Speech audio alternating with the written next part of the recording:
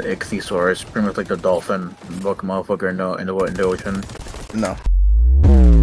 Well, pretty oh. much it kind of looks like that fucker. My guy just bounced again.